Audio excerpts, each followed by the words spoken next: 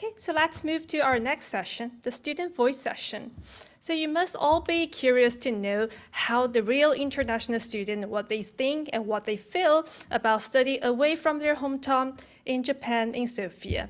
So we're very lucky to invite two international students, their current fourth year students, uh, fourth year students. So Miss Melissa Da Costa, uh, she is a fourth year student from our Green Science program, and also Geovania, um, she's a green engineering student. Uh, she's also a first year student. So let's welcome our students.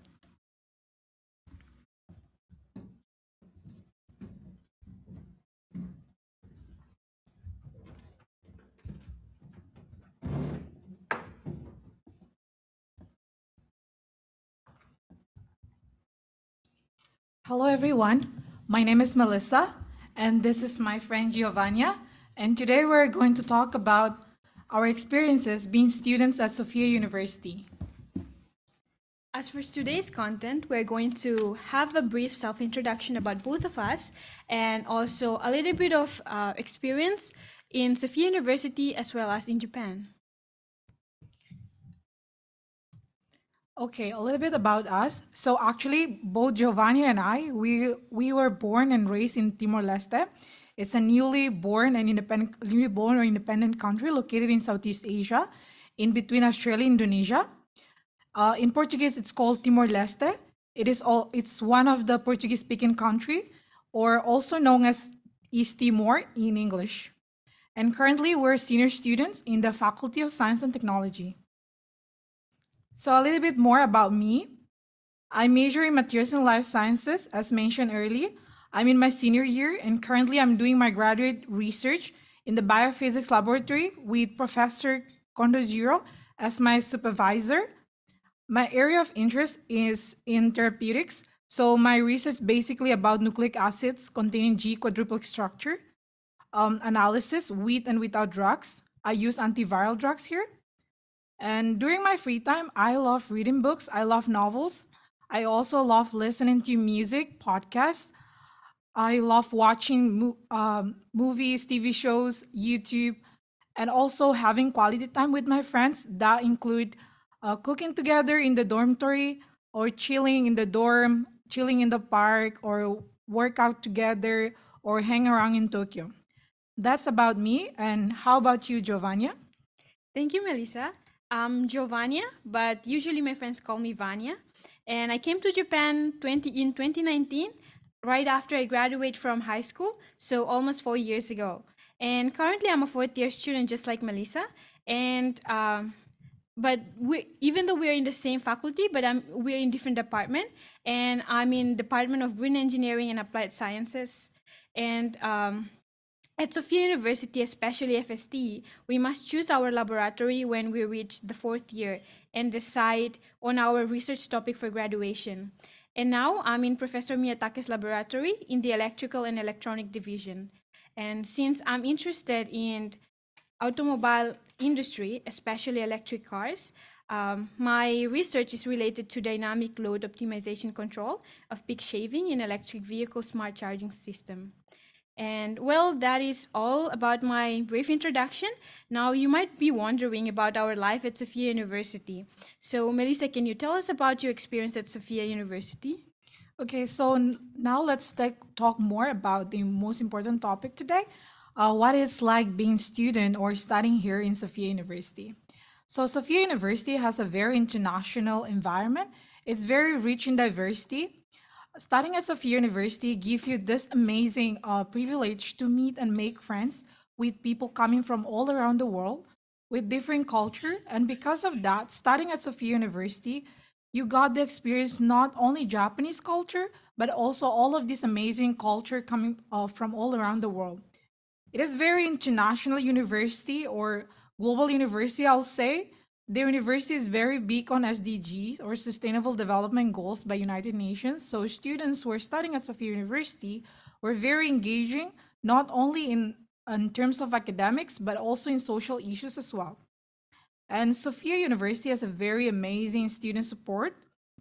There are a lot of resources available on campus and different offices available to assist students whenever they need for Examples like jobs, uh, academic problems, all social problems, and many more.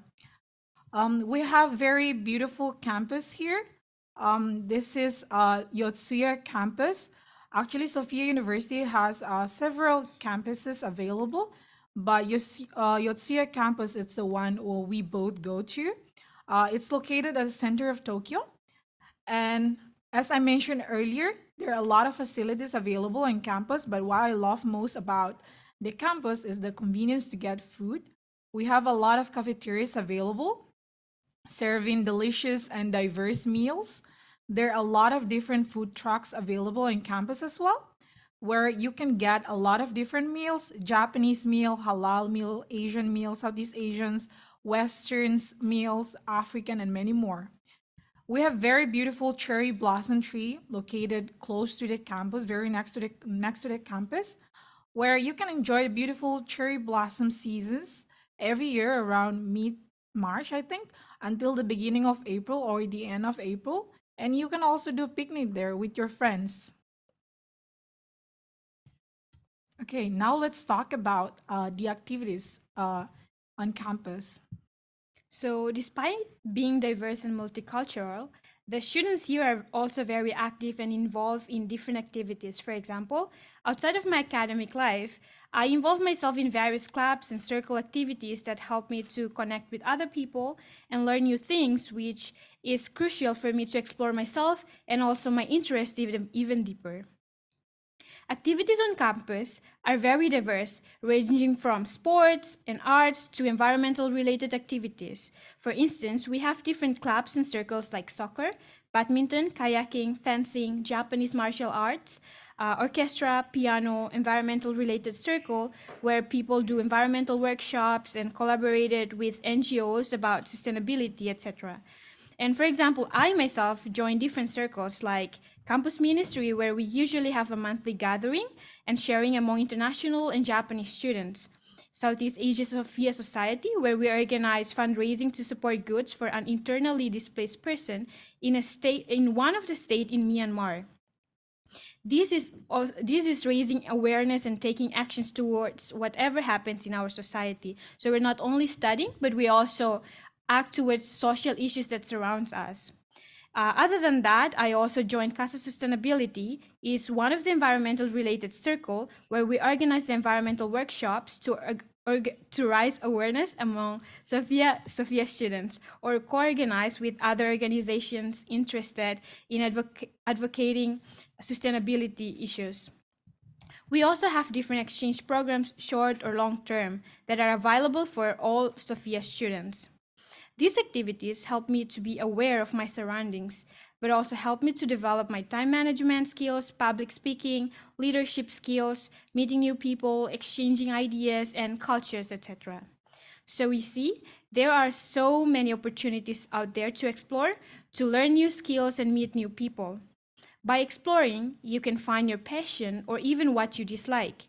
Either or, they are essential tools for you because they can help you to decide what you want to do after graduating high school or deciding which major you want to take when you enter university. So, when you have time, please volunteer and join different activities. All of these will not just come to you without you taking some actions without exploring it. So, yeah, and the second activity, uh, the second point that I would like to mention is about Sophia Uni um, University um, uh, dormitory. Um, and Sophia University has several student dormitories, and the one that Melissa and I currently living in is Sophia Soshigaya International House. Um, it's an hour away from Yotsuya campus. For your information, all the universities in Japan um, have their dormitory outside the campus, including Sophia. And I want to share a little bit of my experience of what it is like to live in a dormitory.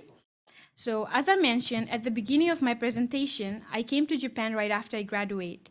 So of course it was very tough decision for me because I have to leave my family, friends, and learn new language and culture, make new friends, etc. So sometimes I do feel homesick too. However, living in the dormitory is very helpful because it feels like I have a family, although I am away from home. And moreover, in the dorm, I'm making new friends and learning new culture and things every day, whether it's just like a new vocabulary, Japanese vocabulary, or movies, or cooking recipes, etc. Although we live far from the campus, I enjoy staying there because we have a very lovely and convenient neighborhood with different facilities like library, gym, cafeteria, tennis court, training room, etc. Since it is an international dormitory, there are so many people worldwide. The capacity of the dorm itself is around 300 people from 56 different countries. Since it is very multicultural, every semester we have various activities organized by the school or living group leader, like residence assistants, to help the students adjust their life in Sophia and also in Japan. So I think that's like a little bit of my explanation about the dormitory life. So maybe um, Melissa, you'd like to continue? I think you said it perfectly. I don't have to add anything more. But let's move on to the next slide. Uh, now let's talk a little bit more about the Faculty of Science and Technology, since we both belong to this faculty. So um, as my professors already mentioned earlier, so the, what is the all this faculty is about is that it provides an integrated study of science and technology or engineering taught by experts coming from different fields. In the faculty, um, because it provides integrated study, in the faculty you have the, uh, the flexibility to take different courses within biology, chemistry, physics, and math, and ultimately develop in a multidisciplinary perspective.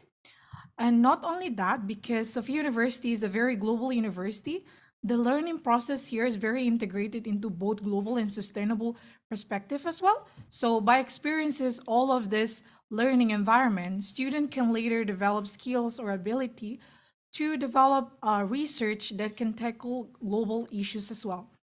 Um, in addition to such curriculum system, the classes are conducted in small size, which facilitates the students uh, to engage in more interactive and flexible learning experiences, where students can have the opportunity to engage in valuable and more extensive discussions with the professor and their friends inside the class and outside the class as well. And furthermore, uh, uh, in the Faculty of Science and Technology, in your junior year, uh, you can have the experience for research trial. This is pretty new program. I think pretty started last year. This opportunity allows the student in their junior year or third year to conduct research and be acquainted with a real research environment and other research conducted in different laboratories at the university. Thus, the students can have, make easier decision for their gradua- graduation research later in their senior year. And in fact, through I took this research trial program uh, last year, and through this program, I found my interest in conducting research in the biomedical field, especially in therapeutics. Okay, now let's move to um, the last part. This is last but not least. Uh, we are going to share about a little bit about our experience living in Japan. But since we have limited time, uh, months of time left, I don't think we will be able to share everything. So we're just gonna going to talk about things that we love most about Japan. So as for me, what I love most um, of Japan is the convenience and the safety here in Japan. I love the convenience stores. Uh, they're open 24 hours here, and you can literally get anything, buy anything from there. And as you may know, Japan is one of the safest country in the world, and Tokyo is the largest city in the world. Um, what I love is that uh, living here, uh, how safe is it, it is to live here, and it is so safe that you can uh, walk alone uh, or to walk at night in the street, enjoying the city life without even uh, having the fear for robbery or pickpocketing or something like that. Um, that's from my experience. Uh, what about you, Geovania? What do you like most about Japan? I think you said most of it, but other than what you've said, I think the first thing that comes to my mind is the food because um, I really like seafood. So I think, yeah, I love the food in here because they're very fresh as well. And other than the food, I also love Japanese culture because um, uh, about Japanese culture, Japan is like a fascinating and multifaceted culture. But what amazed me was that um, the people here like are very punctual, organized, and also like um, the city is very clean. Obviously, it's not like hundred percent like totally, but still compared to like other countries, um, yeah, it's pretty clean. So yeah. Thank you so much. Um, I think that's uh, we have reached the end of our presentation. Uh, we'll just leave our contact details here. If you're um, have any further question later on, please feel free to reach us out. So, lastly, thank you so much, everyone, for listening. And this is the end of our presentation. And we hope that we share uh, what we share here can be very helpful for you. And if you have some questions, please don't hesitate to ask us via text. Or if we don't have enough time, uh, please reach out to us through our email that we already put in the previous slide. So, once again, thank you so much.